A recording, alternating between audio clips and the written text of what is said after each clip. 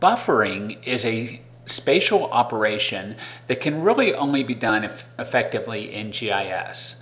With buffering, um, it's typically done with vector data, and we can start with either a point, line, or polygon, represented by the black areas on the bottom.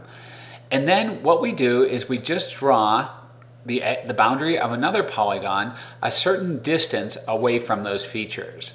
So that we can see in the, um, in the top one there with the points, it's just sort of like taking a compass and, uh, and making a circle after putting the um, sharp end of the compass in any of those points. With the line, we're kind of tracing parallel lines around the edges of those lines. And at the edge of those lines, it's going to have a very rounded end and where lines overlap, depending on what our buffer distance is, the entire area might be filled in. In the bottom with areas, once again, things are gonna look um, rounded. We're never gonna get sharp edges on a buffer because it's just gonna use that kind of corner of the polygon as where the compass is drawing part of a circle up here, and it's always going to look um, rounded in that way.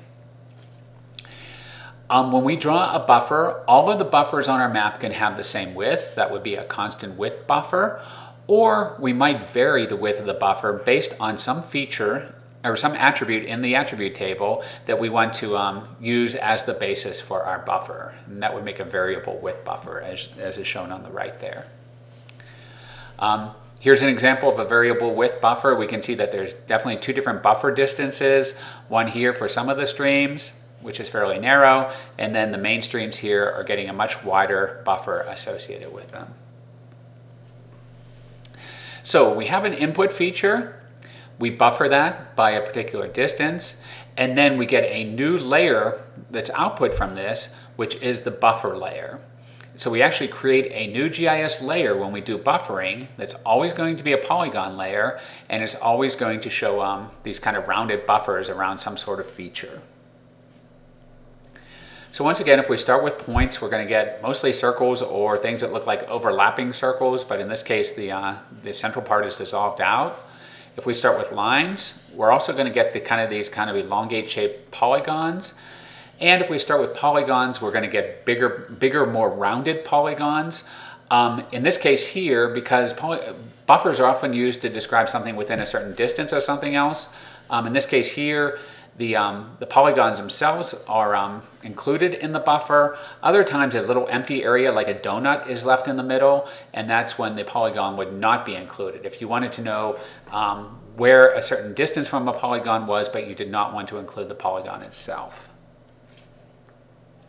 So if we start with the point layer and we do buffering, the default is to get buffers that look like this. If they're far enough away from each other, they're circles. Here they would be overlapping circles, but all one polygon area that, that is traced out like this.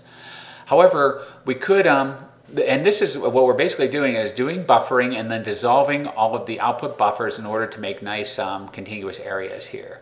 We don't have to do that though. We could um, identify all the overlaps. So in this case here, let's look at this simple example here between this point here and this point here, we might want to know what area is within that buffer distance from both of those features, this area number two here. So if we want to, when we do buffering, we can, we can preserve that information.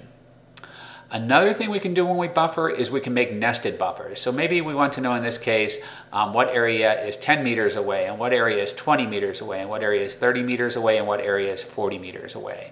So here we would get four overlapping polygons and, um, and that, that was sometimes called a nested buffer or um, buffer in GIS. So here we can see the same thing. Here the in interior of these circles has been dissolved and, uh, and the interior of these lines has been dissolved, the interior of these polygons has been dissolved. Here they're preserved so that we can see where the, where the area of overlap is. This is the most typical one to use for buffers, but sometimes we do want to preserve that information and find out where the overlap is. And once again, in order to make these buffers, we're keeping the distance from the line constant.